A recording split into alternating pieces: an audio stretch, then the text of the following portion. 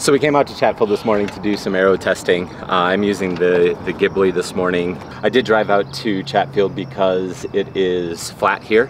Just finished up the calibration ride. It's just um, basically 6K, 3 by 1K out, 1K back. And then you know, they're doing that to try to compare um, relative speed. So you have to keep it constant on the way down and the way back. That's why you need it flat. But now in theory, I could do the aero testing anyway. I do want to keep it flat just to um, make sure that I'm testing you know, the same way uh, on for every test. I'm basically starting with my base race setup. I've taken this into the tunnel, um, so you know that'll be the first run as baseline. And then I'm gonna tinker around a little bit. I'm gonna try to add 20 mils up to see if that allows me to sink my head a little bit better, see what effect that has. Um, I'm gonna try to move the bars back and for um, I'm, I'm, pretty much uh, at the biggest reach that I can, but I'm gonna try to uh, reduce that 20 mils, see if that makes a difference after I go up. So those first three will be the, you know, the first three runs that I do. Um, and, and then once I kind of figure out which one of those is the best, then I will um, play around with a few different bottle positions and um, yeah, see how many test runs we can get in today before the park gets uh, overrun with traffic by about 10 o'clock. So before you jump down my throat, none of the tests are actually being run with the camera next to me. Camera's coming up afterwards, getting the pictures for y'all, but it's not interfering with my data, don't worry.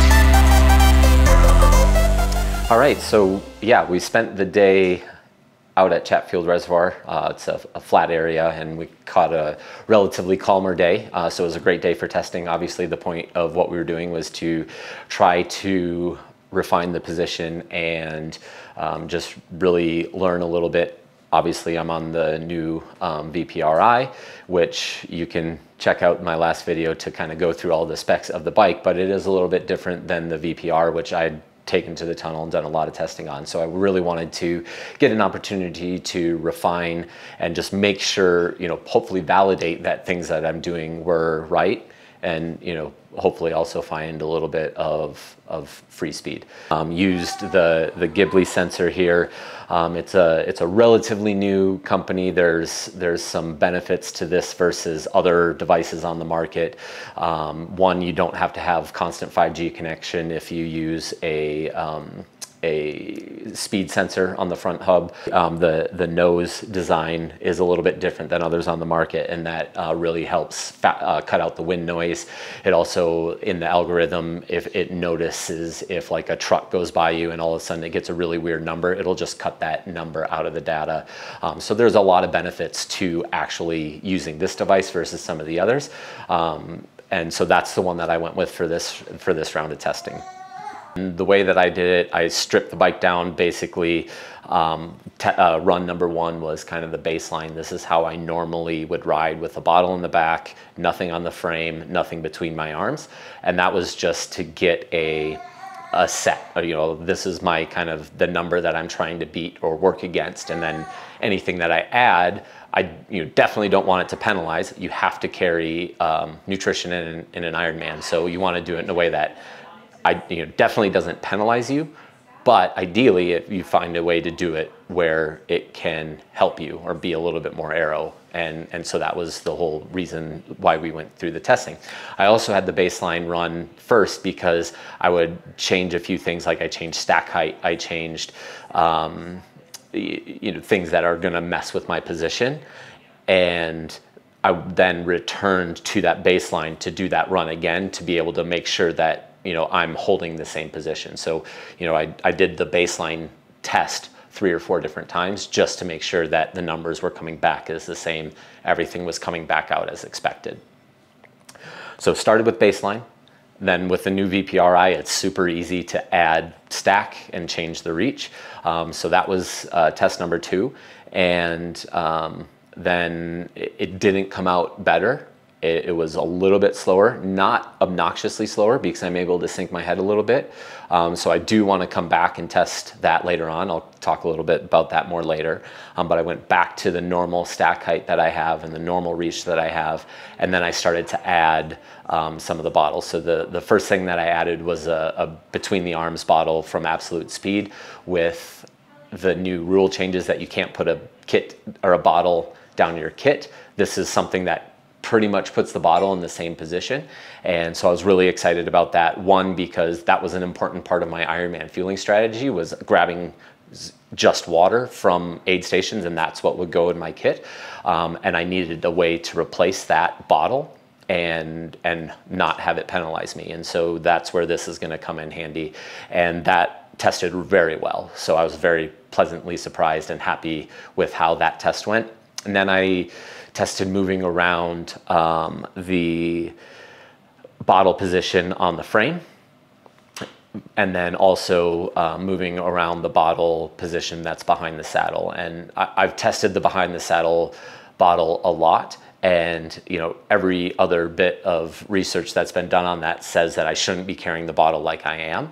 But every time I've tested it in the tunnel, on the velodrome, and now on the road in real world setting, um, I get a much faster position with the bottle like it is versus you know what you know the other data says getting the bottle a little bit flatter would be faster. And I think a lot of that is because of how far forward I sit on the saddle. Um, it's just different. So the wind comes off my back and hits the saddle, where most people who sit farther back, the wind comes off and goes behind the saddle. Um, I, you know, I'm not an engineer, but that's what makes sense in my head anyways. And it was good to get another piece of data that confirmed that the way that I have that bottle set up is, is the right way. Then the last thing um, that I tested was comparing the DT Swiss ARC 50 front wheel to the ARC 80. So there's conditions in higher winds and things like that where I would consider racing a little bit shallower in the front. Um, Kona, for example, is, is the main reason that I wanted to do that test, just to see if there is a penalty and what that penalty would be. And so, you know, that was kind of all we had time for on the day. Um, it's a lot of testing. It was, you know, by the time I broke everything down, you test you know, riding sweet spot threshold. Uh, and so I, I was doing these tests, you know, 6K at a time. And, you know, over the four hour span, I was about 80 minutes just under threshold of total riding, uh, which for what was supposed to be a day off is a lot of riding.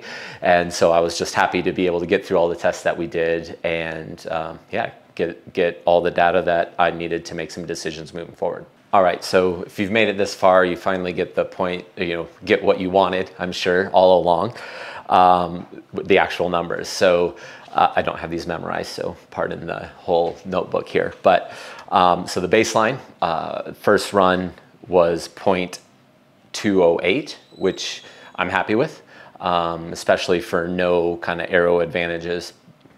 And out in the real world, obviously, if I'm in the tunnel, I don't have to worry about, you know, I can not have to worry about looking up, controlling the head position. So it's a little bit easier to get a lower number. And I'll talk about that with the last test that we, well, we did. But so yeah, baseline was 0.208. Uh, when I went up um, 20 mils in, in uh, stack, it was 0.212.